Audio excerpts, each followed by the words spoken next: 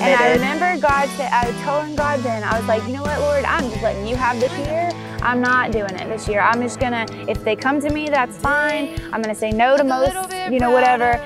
And I'm just trusting you. I have always had a big personality and it was always a lot and people didn't really always know how to handle it. And so I could see that happening in my daughter and those seemingly normal tasks that I've done my entire life that I tackled with such confidence, I couldn't do. I couldn't do any of it.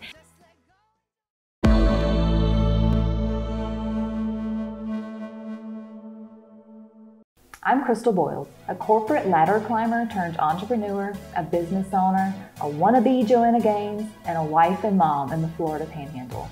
Most of my days are filled with chaos just like yours, but in my downtime, I try to keep a growth mindset to become a better version of myself, both professionally and personally.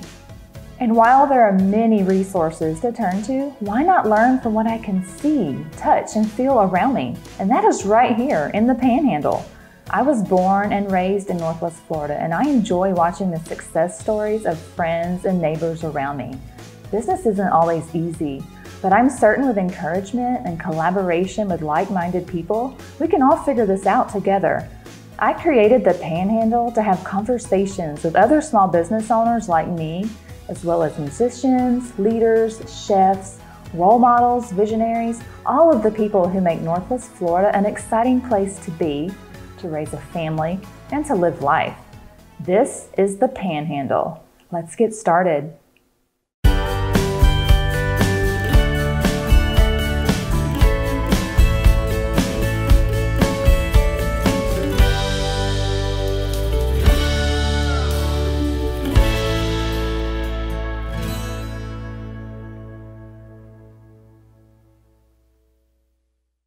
Everyone, and welcome to the Panhandle. Today's going to be a lot of fun. We're here with country music singer and songwriter and Northwest Florida resident Casey Kearney. Hi. We're going to talk about her music career, how she was just invited to sing the national anthem, her book, her rodeo life, and how she overcame depression. We have a lot of ground to cover, so stay tuned.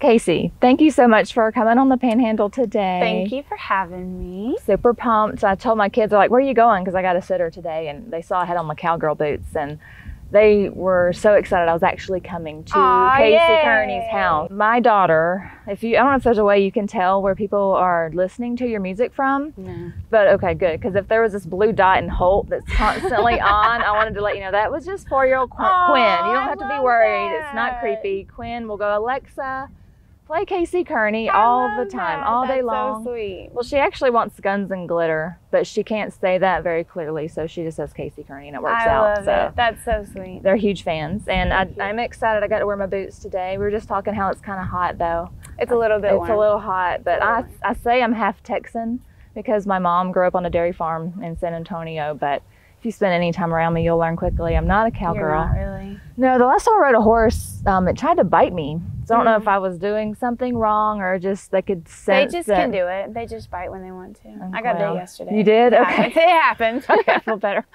but I, I do enjoy dressing the part, and you were the queen of cool boots and cool pants. So thank you. I really love. I, I like that you noticed that I have fun pants because I love do. my fun pants. You have very fun. I'm pants. obsessed. Obsessed. So if I need some cowgirl wardrobe advice, if you need some bell bottoms that are funky, come see me. I will. I have I'll a collection. So I went to Baker school and I had a, a, very long bus ride. I was like the scenario I was the first one on and the last one off. And so when I was little, me and my two friends, we would pretend to be country music singers. I was Dolly. Uh, Naomi was Naomi Judd, of course, mm-hmm. and Jesse was Reba. And it was all fun. And I knew quickly on though I had no career in singing. At what point did you decide this is what I want to do and how did you get started? So we did, I loved those same kind of things. I think we're close to the same age. So I mm-hmm. loved those same ones, Trisha Yearwood, Reba, all yeah. of it. And my sister and we would just sing and jump on our bed and all that. But I had no like thought then. I Uh-huh. was three kids, 26 years old before I started actually singing Really? in public and I had horrible stage fright. I had that's when I started learning how to play guitar. I was giant pregnant when I started learning how to play any kind of instruments. So it was very much a later in life thing. I had already had several careers before I had ever settled in on music was what I was supposed to be doing. And it's the thing I've lasted the longest in, so that's fun. What made you want to get into music?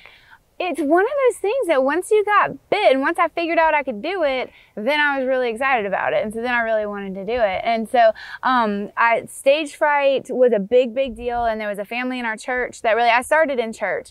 And there was a family in our church that really helped me get my confidence and really just kind of taught me a lot, taught me a lot about um, playing guitar. Every time I would try to, I was self taught, but I would pick the brain of every single guitar player I came in contact with, you know, and YouTube. Um, but they really helped me get over that, you know, Yeah. go to get over that stage fright. And then I entered this contest when I, I was watching them up there one time. It was at Destin Commons. I was watching this karaoke contest, and everybody up there was super nervous. They were really good singers, but they were super nervous, and they weren't entertaining at all. So it's like, wait a second, if I go up there and have fun, then yeah, and that's when it clicked. That and so the one of the judges came up after I ended up winning, and one of the judges he's like, they had a better voice, but that stage presence is what got you. And so that's what I realized. If I'm having fun, they're having fun. And so then that's when it really just kind of started growing. It was hard when the kids were real little because uh, babysitters and just it was just hard being gone. And the music is down there on the beach where to really play a lot. And so I had to um, go and do that. Uh, you know, I, that was too much. So I had to kind of, so it was off and on. But then when I hit that point, I was like, this is it. This is what I got to do. And it's now or never. I'm going to go to Nashville. So That's cool. Going to Nashville, I can't even imagine. So that's where you you go to make an album. Is that where you go yeah, yeah. And I mean, there was a whole process there of getting connected with the right producer and the right people to kind of help me to be able to do it. Mm-hmm. But then once I did, then he really helped me make Guns and Glitter, which was my first single, and he helped me do that. And he's done several other projects for me since. And mm, he does. His name's Doug Cahan, and it's great. It's really fun. Who was your biggest inspiration musically? You mentioned Trisha Yearwood and I had so many. And so that whole 90s country era was a ton. But then there was also the Christian music world mm-hmm. that I loved. I loved the DC Talk and Amy Grant and all of these different things. So it was very diverse. And then, of course, my parents with the things that they liked to listen to Eagles and Air Supply and all that fun stuff. And so, I mean, so I picked up a little bit along the way from everything. you can do it all. Yeah, but 90s country, that was my. That was my favorite. That's, what I love. the baseline that you built from there. Yes. That's that's cool. Now, most recently, you released the song Waffle House. Yes. What's the story behind that song? My friends, um, Rob and Kelly, I met them at a show one time and they told me their story just in passing. And they were like, Yeah, we've been married for 30 something years. And our wedding night, we got married and then we went and slow danced at a Waffle House. And I thought it was so cute. They didn't have like an actual wedding, wedding thing, you The know? and- reception. yeah, that was the reception kind of thing, was at Waffle House. And I thought that sounded like a country song. It- And yeah. so I just kind of wrote it and rewrote it, and me and Doug finished it, and it um, it ended up being really fun. It ended, I, I loved it, and they've had really a lot of fun with the story and the song, and so I've loved it. They're kind of like stars now. Yeah, yeah. And so then we did the video, and they we used them and then their mom, um, them and her mom and their daughter to kind of like age progress. Oh, So they were all everybody in the video is actually like kind of related. They're the story. yeah, and it makes the whole story an age progression thing, which I loved that That's whole neat. part of it. I didn't realize that. I just thought you had actors that you had No, lined up. So the middle couple is the actual couple. That's the younger one's their daughter, and the older one is their mother. Is her mother. And so it was really sweet. It was such a fun day for them, and to see them be able to do all that, it was great. Was that your first music video? That was my very first one, and I'm actually emailing back and forth this morning with um, for we're setting up for the second one. Oh wow, So- that's exciting. I noticed a lot of the scenery in it, and that was just We neat did to in see as a local. Yeah, Yeah. Twin Hills Park was a lot of We did it. Twin Hills. We did that Waffle House on 90, and then um, yeah, we did it at my friend's house. She um, lives like north of Crestview. We did Mm-hmm. some of it there, and then we did a little bit at Cospa, like behind the coffee house. They have a beautiful courtyard that like it's just the hidden gem of Crestview, and so we did some of it there. That's where they proposed in the video. Yes, right. that's exactly right. I know. Yep. I know my Crestview You area. do. You do. That it was fun to watch. Bo enjoyed watching it too. It's very sweet. Um, the next one's a lot more dramatic, so I'm excited. It? yeah, it's gonna be. It's totally different. I'm excited. It's gonna be fun. A lot of your songs tell stories, mm-hmm. and I'm sure that takes a tremendous amount of just creative energy. So, what is your work style? Do you treat it like a job and you work on it so many hours a day, or do you just like you know disappear and immerse yourself into it to knock it out? I wish that I did. I wish I was disciplined enough and I had like the organized life enough to be able to say, this is my writing time and this is what I'm doing, but no. No. And life so happens. with three kids and then they're homeschooled and then they rodeo and just gig life and just everything, it's not that way. And so I really, I used to get frustrated. I used to try to write at home and then now I've understood that I just, it's impossible. So I can't, I get interrupted too much and it mm-hmm. interrupts my thought process and it gets frustrating. So I really do better if I write I write ideas down all the time, every day, all day, write down ideas, and just in my phone and my voice memo, all that. But then I go away for a few days and then just lock myself in a hotel room yeah. and I just write and write and write and write. And so, um, or just go with my friend um, Doug, uh, my producer up there, and then we'll go and write and finish. I'll be like, hey, I got these ideas, and we'll finish writing them.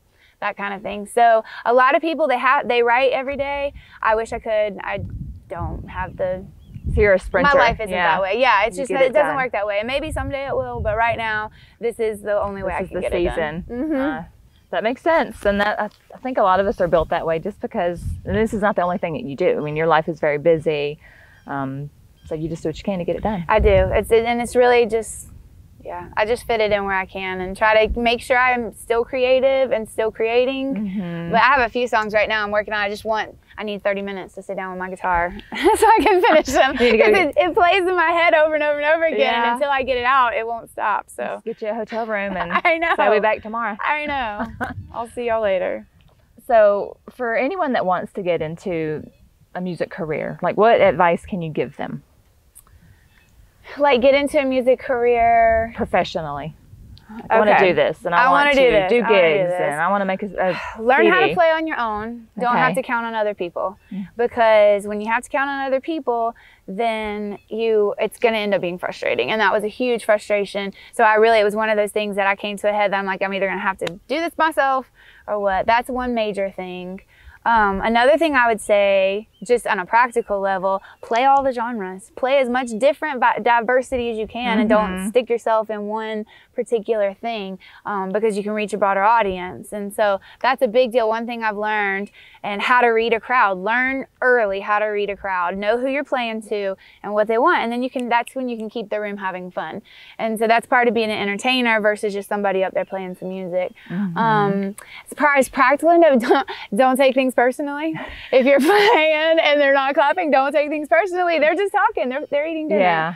Um, and you know, those kind of things. And when you're, you're going to get a whole lot of no's before you get yeses, whole lot of no's before you ever get any yeses. And just don't quit. So when it's that time and you're getting all those no's, don't quit because then you're going to quit before you actually start your yeses and yeah. then you're not going to miss the fun. You're going to miss the fun part. Sell, your, You'll put sell yourself yeah, short. there really is that whole. You've got to put in the work before mm. you mm-hmm. can. And there's different sayings of you've got to. You're going to write a hundred terrible songs before you'll ever write one good one, and you're gonna, you know, play a hundred gigs that's going to be awful before you actually get. And I mean, some of it's true and some of it's not true.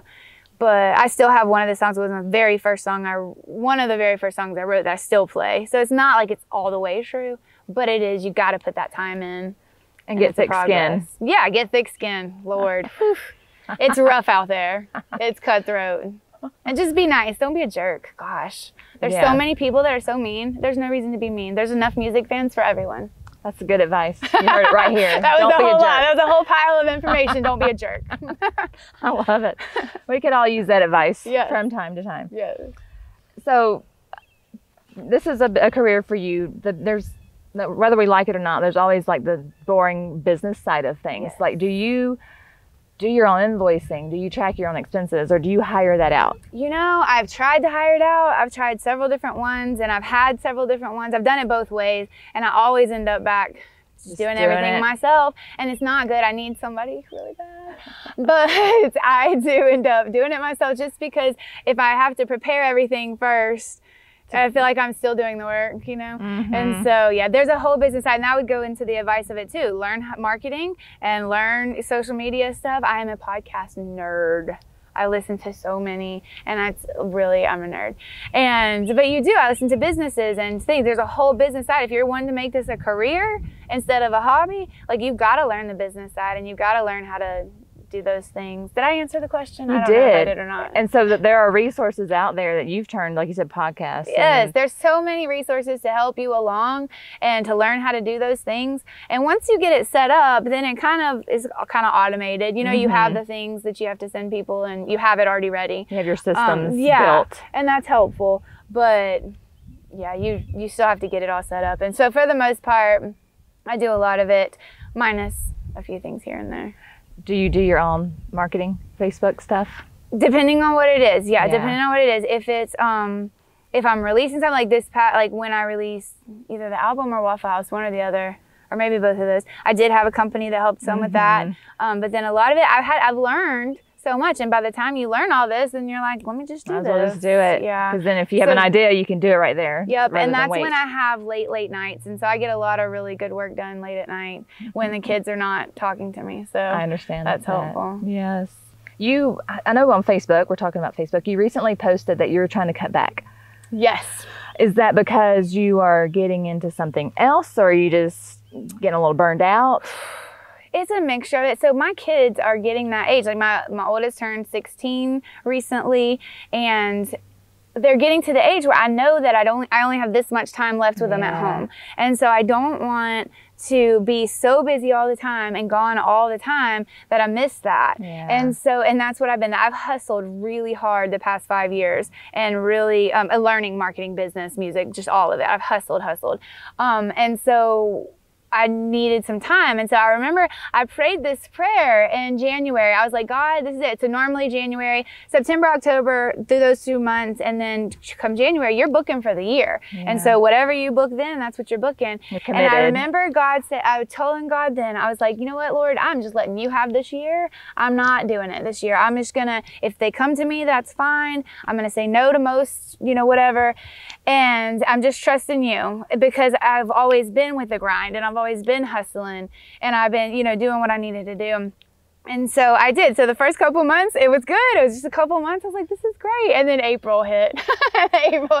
And so Spring break All and, these, yeah. uh, And it was cool because these doors I never knocked on. You know what I mean? I didn't try to do these things and they just they started coming and so i just think it's such a blessing from the lord because when i decided you know what i want this time with my family and god's like well you do this and i'm going to help you do this and and it really it's that whole seek first the kingdom of god and all these things be added unto you is that bible verse and it's those different ones that that he really started directing the path when I really decided I'm not going to try to drive this ship so hard anymore.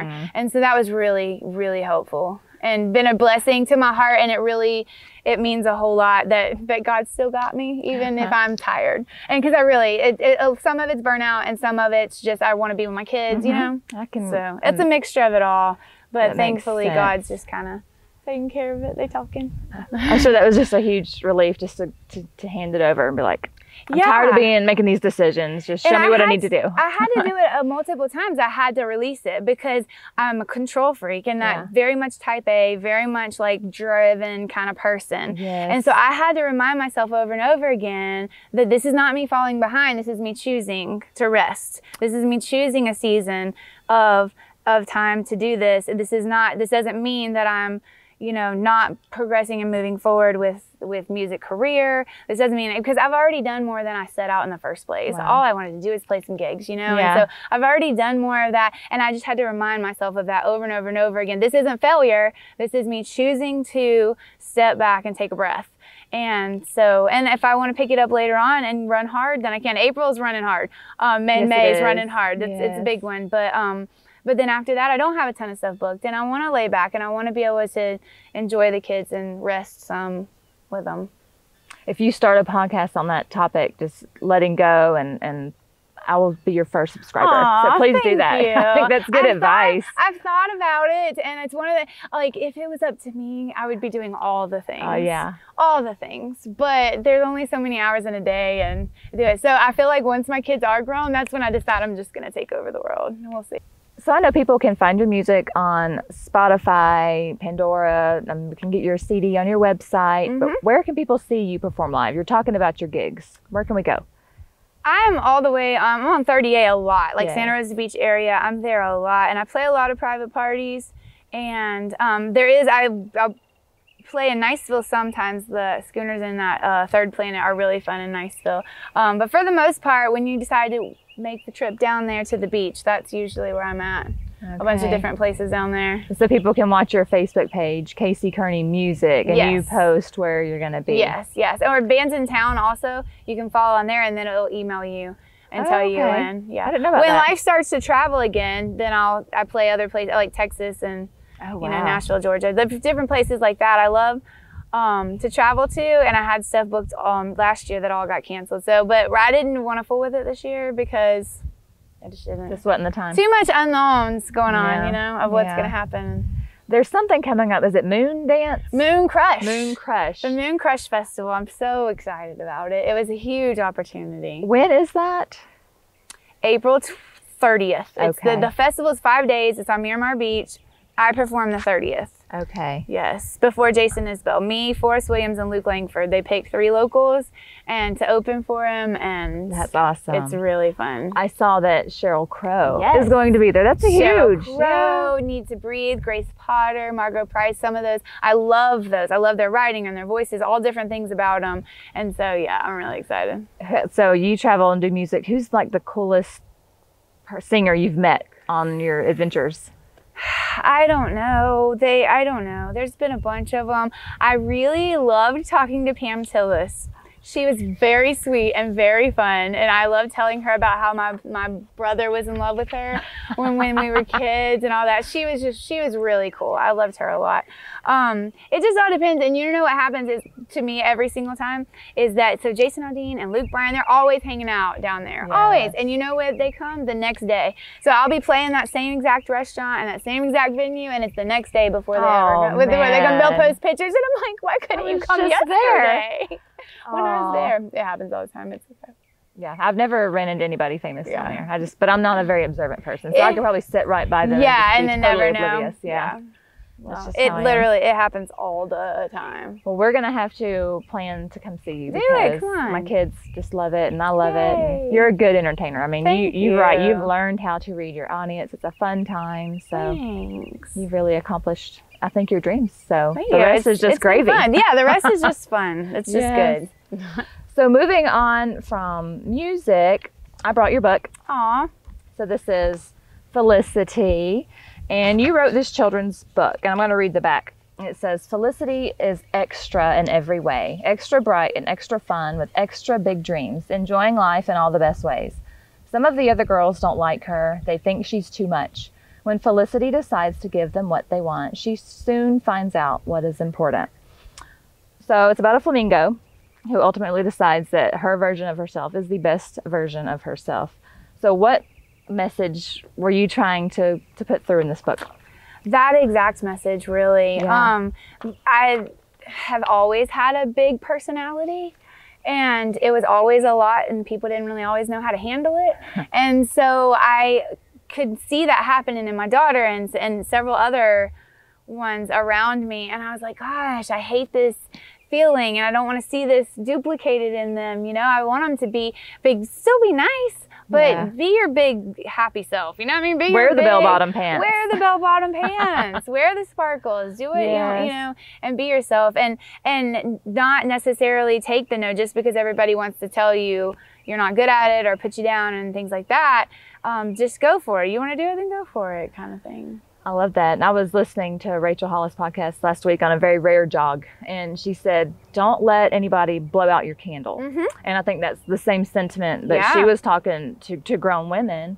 And so I, the Felicity persona has to have helped you in your music career. yeah and it is and that's it's very much i mean it's it's a little reflective of my story and a little refle- a little made up in a lot of ways too Um, it wasn't necessarily mean girls; it was a bunch of mean old men that were mean about about me and my music. Oh. But um, it's the thing is, is that it's it is it's in all of us and so my book even though it's written like a children's book it's been grown women Yes. who have really responded to the message and have really they bought it for their other friends like i've got my mom needs this my friend needs this my sister needs this so it's been grown men, uh, women who have really resonated with it and their kids too but So you co-wrote the book with your daughter Annabelle. yes How old was she at the time?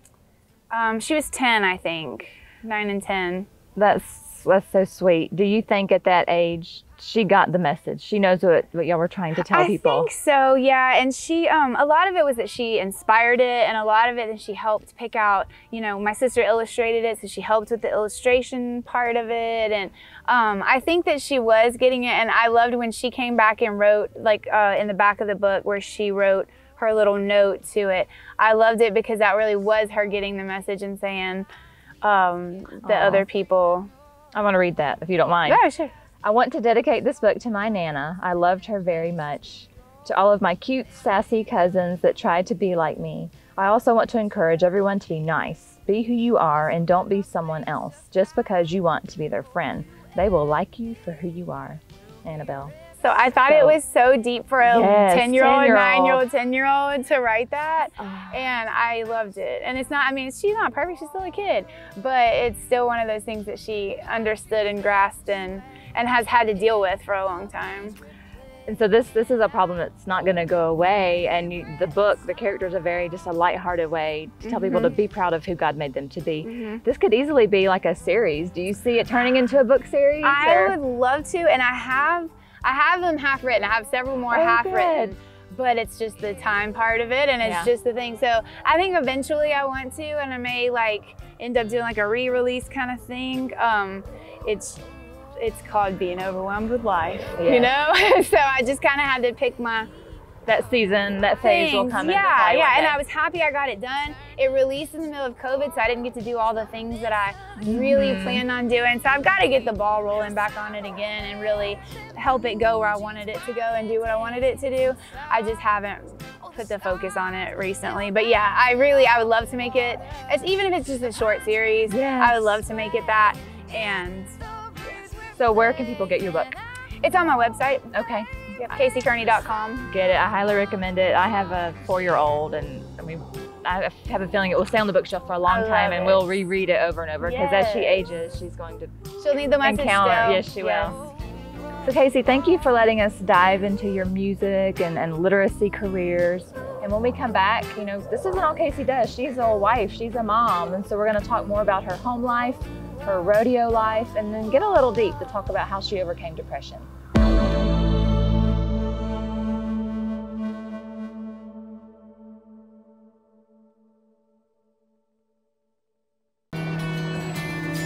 We care about this community because it's our home too. Adams Sanitation. We're locals committed to our community. Sign up now for neighborly service from the friendliest little garbage company around.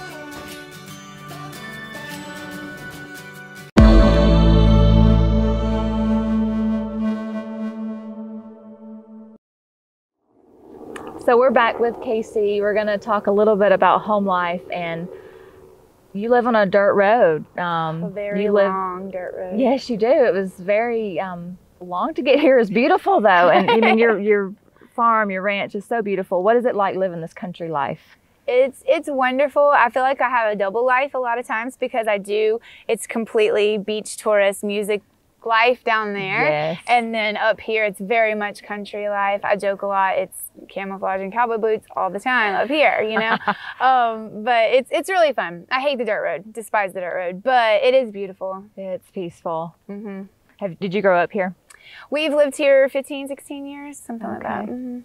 So you homeschool your children, and that allows you flexibility to Yes. get into the rodeo sport. I know nothing about the sport. So do your kids do they participate? Like, is it, is it actual competition? Yeah, it's very, very competitive. And we, they were in school um, at the same time. So I, I was gigging, they were rodeoing, they were just getting started. And we found that I don't know how people do both because it was really tough. And we were, I was apologizing to teachers all the time um, because we were either late or messed up, whatever, because you travel a lot Yeah. with rodeo. And they dove in. Then when they found their passion, they dove deep. And so they practiced like every single day, every chance they can possibly get. And it's really, I mean, it's intense and it's, um, it's a lot, it's physically and, you know, just everything. And so they're, they do really, really well in it. It's very fun. Um, but they also work their butts off at it. And Yes. so we love it. It's really fun. But homeschool gives us that flexibility for them to be able to do that. They also love to work. So they all have their little jobs that they work. And um, Yes, so you're telling me your youngest is 11 and she's she's, she's been filing. working. Yeah, she's been working filing papers. And so That's she, awesome. she loves it. Uh, my kids are going to regret that you told me that. Like, you're They're like, give me a job. It's time. so they participate, they compete. Do you get involved? Are you doing any shows? Just a little bit. I love doing it. I really, really do. But the older I've gotten, the more chicken I've gotten. And then I also, I'm like, I know my uncle and my mom are like, why don't you stick with what you're good at? Why do you need to do this? and it's kind of true. Like, what if you get hurt? And so it is kind of true. Like, I don't want, don't want to do it enough to where I'm going to get really hurt and then I can't Yeah. actually play because I always have all these commitments that I'm committed way far out, and then because I want to go run some barrels, then I'm gonna get hurt. But no, I mean I love it. I absolutely love my horses, and I love everything about that whole life. Um, I just only compete this much. My husband does a lot. He loves the team rope, and so he does, and the kids all do. And I love doing it with them so that I'm part of their world. They have zero interest in music, but I'm Mm-hmm. Oh, at least they? part of their world. And so it's really fun. I love to watch them help me. I used to do it years ago when I was fearless and not afraid of getting hurt and would do anything. I did it years ago when they were tiny. And then now I don't know. Now I'm kind of more of a chicken than I used to be. Well, we don't. I mean, I fell on, on like on my knee of two weeks ago or, or two months ago, and I, like it took forever. Like we don't bounce back as I quickly, so I can imagine like. I our-. And I had I had a couple concussions and I oh, had Oh. I had quite a few like injuries in my 30s that have made it to where I'm kind of like I know how long it took to heal from that so I don't want to get hurt. But I love doing it and I don't want to Yeah. quit and I'm afraid if I don't do it now, I won't do it when I'm 60. So yeah. it's So you're just taking a little bit. I'm trying to. Yes, I'm trying to. Y'all just came off a pretty big rodeo weekend. Was, did. Was there everybody healthy? All their bones? yeah, everybody's be? good. Okay. Everybody was good. Any Every- big wins? They did. Um, Micah won pretty good. Yeah, and then Annabelle had. Um, she. They're different goals or different things. Like obviously, you want to win top, you know, whatever, and win money and all that. Um, but for her, one of her, she got eighth place, but it was a huge accomplishment because we're talking some of these girls compete at the pro level. So for her to finally make that top ten was a huge, huge accomplishment for her. So she may not have come home with money, but she was really proud of that. And so people, if they want to get a taste of what that life is like, you do share a lot of that on your Casey. Kearney Music. Facebook. So I that's do. been fun to watch because, like I said, I, it's foreign to me, but I try to. I try to share some of it without being like overload because I know that it is. And and a lot of times there's not a signal where we're at because we'll be middle of nowhere, Alabama. But yeah, it's good. I like watching it. So keep it up. Thank you. So I think something that doesn't get discussed a lot in small business is it's hard. Um, um, you got to have good mental health. You have to have a good family life. And you recently posted something on Facebook that got my attention because it, it hit pretty close to my life as well. And I'm going to read just one little excerpt from it. But it says, I look back on the lost grown woman with three kids who physically and emotionally couldn't get out of bed. Then I look at life now and I'm so very thankful. Thankful for the people that surrounded me to get me through the thick of it. This is the first year I don't feel like I have to keep moving just to keep moving. I don't feel the pressure to survive. I feel like I can breathe. And you posted that pretty, I think, soon after you had that conversation. Like, God saw you take over and you just felt that relief. Mm-hmm. And so, what was the response to that post?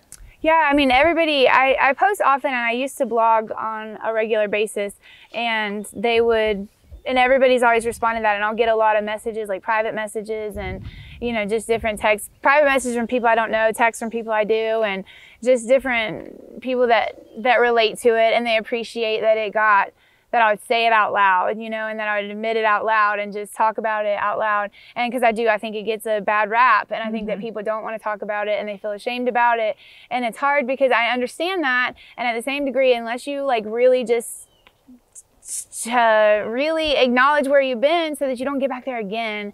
And I think that using the word overcoming depression is interesting because I don't know that you necessarily, I mean, you do overcome it, but it's a constant thing. And so it's a constant thing that I have to be aware of that if I run myself too ragged or if I let myself get too overwhelmed or if I'm putting too much pressure on myself, I can easily get myself back into that place mm-hmm.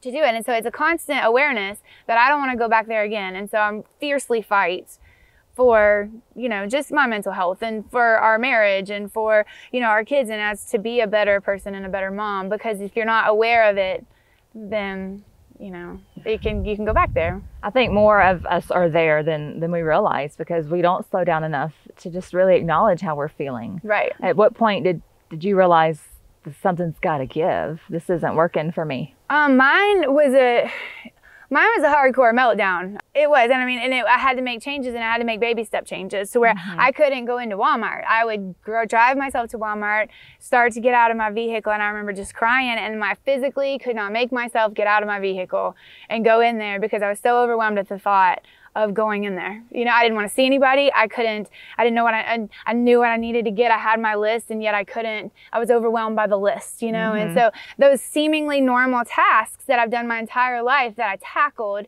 with such confidence, I couldn't do. I couldn't do any of it, and so I felt then then you're mad at yourself because you're like why am i so weak and then for me and my personality i've always been you know tough bossy strong you know go get it and so for me to feel so weak and helpless and so for my mom to have to come drag me out of bed because i needed to go take a shower and i needed to go do something get out of the house you know it was very humbling and very mm-hmm. hard and i had to eventually make that choice and make that decision baby step, baby step, baby step. And I had friends that had been through it.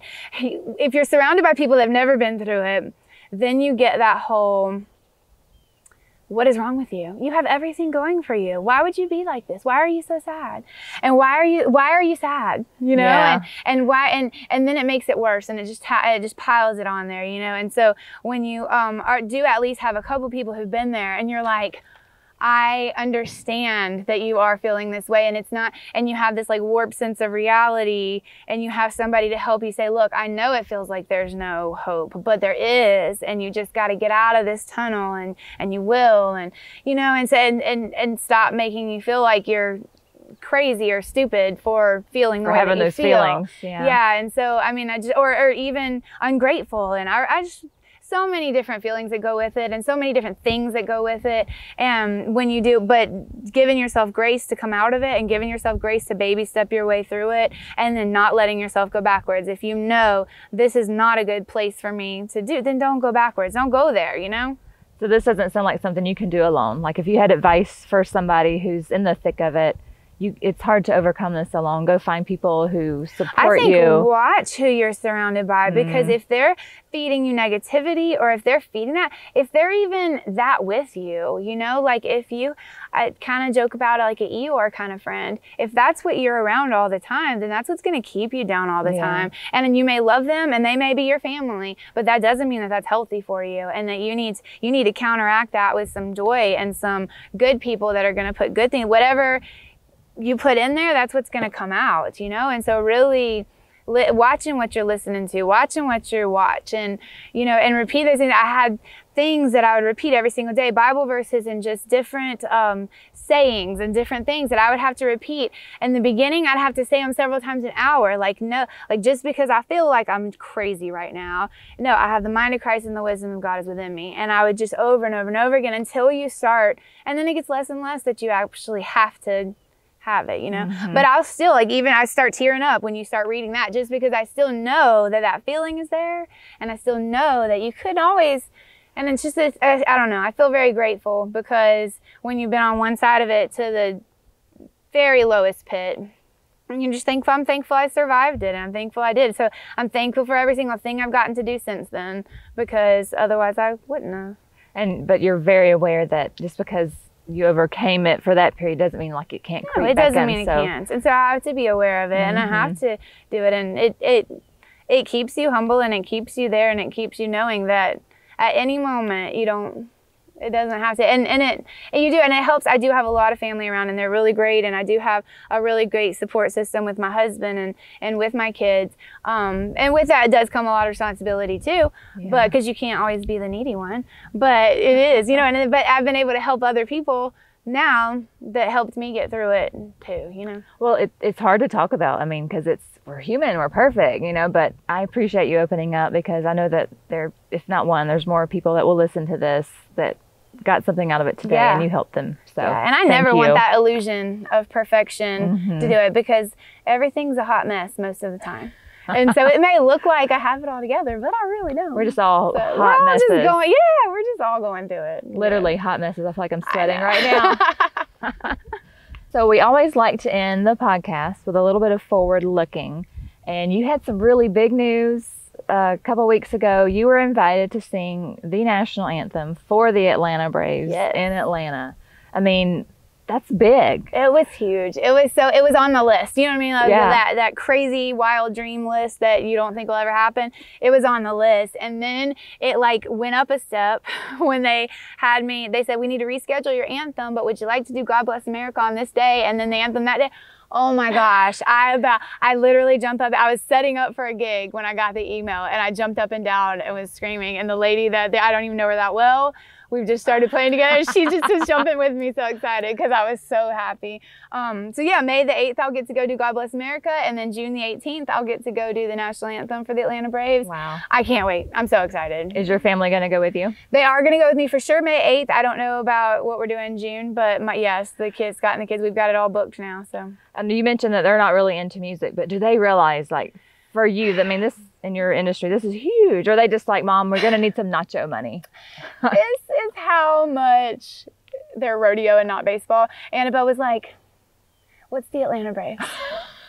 and I'm like, child, are you kidding me? Because I was, I had Javy Lopez on my wall yeah. when I was a teenager. And so I loved, we watched that whole, we loved baseball and we loved everything. They just haven't really watched it tons and they haven't really been into it since they got out of it. They didn't care. Yeah. And so I don't know that they really grasped like how big of a deal it is and how hard it is. Some of the things I've gotten to do, I don't think that they understand how hard it is to get there. And I really, we don't talk about it a ton. Like, and when I'm at home, we're at home and it's yeah. life's about them and rodeo and stuff like that. For the most part, they just know I have a show and I go, you know, so like we don't, it's not really a huge anything just because I don't know, we just don't make it that way. And so but one day when they grow up and someday they're finding their way, back. they realize yeah. our mom was amazing. Yeah, she accomplished I, I hope a lot. That someday they'll realize like that was a really big. You don't just all they don't pick everybody. You know what I mean? No. Like you just don't get to, and it takes a lot to get there. So well, congratulations. Thank you. I'm so excited about it. I really am. And thank you again for inviting us to your farm. I know we have your beautiful barn behind us, and I watched y'all build that like yes. on Facebook. Yes. I am so envious. You have skill. Like you have I have a little bit. Not you have a tool belt. I mean, you know how to wire a chandelier. And I'm like, Nathan, the light bulbs broke. Can you fix it? Like I don't know, I have no skill. So like, did you just grow up learning? I only did. I do what I'm told. Okay. So Scott has all the skill, and I just do what I'm told. Okay. So I follow instructions. If I need to learn how to do something, like I have wired plugs and lighting and things like that, yeah. I YouTube it, and then that's how I find out. Because I'm just kind of like, if I need it done, I want it done. And so um, no, I did. I'd stained for hours and days and days and days. I stained and stained. Um, and the kids worked so hard. And so they know, they feel like they can build anything now. And so we did, we all built it late, late, late nights. A family project. Months and months of it. We were so happy when it's done. So when, okay, that's what I was going to ask because I don't know how that would work for us. I mean, did Scott didn't end up sleeping in the barn. He, it was a happy ending. It would no, it was happy ending, and it was a relief. There were tears. Like I was like, is it ever gonna finish? And then finally, I was like, can we please just hire somebody to do this? You know, and yeah. somebody do this, or it's never gonna get done. So we did hire a little tiny bit of it out, but overall, yeah, it was us. My father-in-law came over all the time. I mean, we're talking every day. Yeah. Well, I mean, I'd come home year. from gigs at night. I'd come home from gigs 10, 30, 11 o'clock. They're still out here working. Oh They'd gosh. be out here till one o'clock. Oh, it was bad. But it was fun. It was good times, good memories. Yes. And we've been we've enjoyed it so much. It's made life so much better with the horses. And for when the world kind of shut down, it was a good yes, was thing so to focus on and so, do as so a great. family. So it's beautiful. Thank you. Thank you for sharing it Thank with us today. You.